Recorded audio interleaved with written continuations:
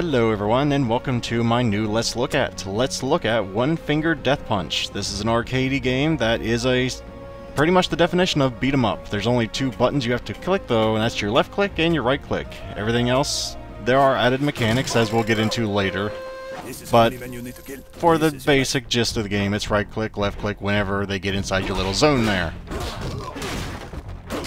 the gameplay does get a little more in-depth. Uh, it's not all just kill you know everybody with one hit. There are enemies later on that will dodge. There are enemies later on that will take more than one hit. As you see, you get weapons from time to time. It's a pretty in-depth system for only having two buttons to actually, you know, do anything with.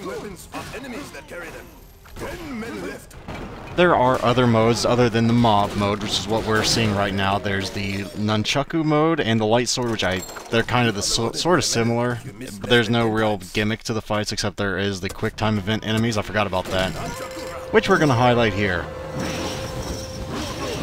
As you can see, it's pretty much just timing and how good are you at planning split second, so nothing gets to you.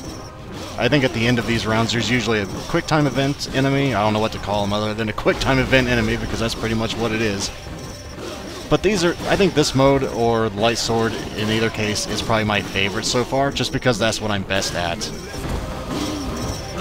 This is pretty much the game in a nutshell. If this does not look appealing to you, you might have the wrong game. But that is why we're here, to see if you actually might be interested in the game. It does get rather difficult as you go on due to the speed but it's nothing you probably shouldn't be able to handle unless you just have very, very poor reflexes. Now this is an example of enemies that dodge. Blue dodges, green takes multiple hits, and these are the most difficult of the stages for me, the mob stages, because it is so demanding that you pay attention to every single mob on stage, that if you screw up, well, you screw up. And it's very easy to do so here. Like that.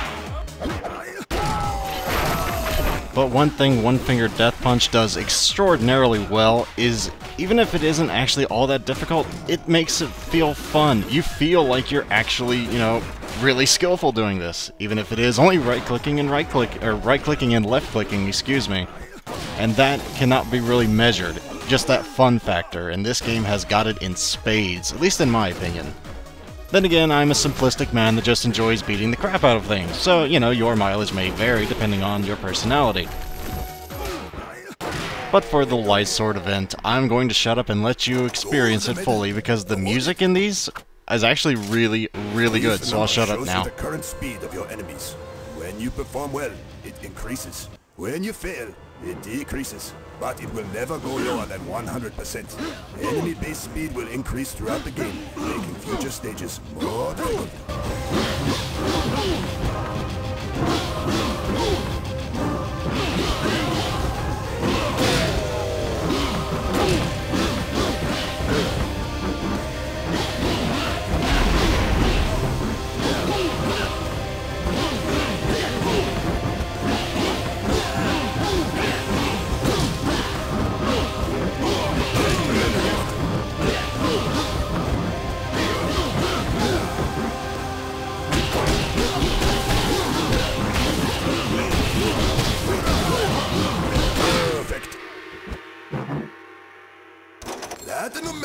But that's to be it for today, guys. It was a bit of a short Let's Look At, but it's One Finger Death Punch. It's an, it's an arcade beat 'em up. It's uh, pretty self-explanatory. But thank you guys very much for watching. As always, if you'd like to help support the channel and help it grow, you may wish to like or even subscribe for easier access to future videos. Farewell, everyone. Until next time.